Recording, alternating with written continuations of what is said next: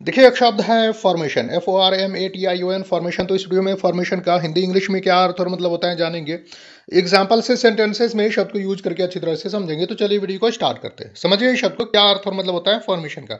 देखिए फॉर्मेशन को बोलते हैं हम गठन, निर्माण, उत्पत्ति, संरचना, बनना, बनाने की क्रिया, रूपायन, संगठन, रचित वस्तु, शकल या तश्कील मतलब फॉर्मेशन इंग्लिश में फॉर्मेशन को बोलते हैं layout format arrangement setup configuration conformation design composition plan structure and it is मतलब और भी इंग्लिश में इसके वर्ड्स आ सकते हैं सिनोनिम्स हो सकते हैं।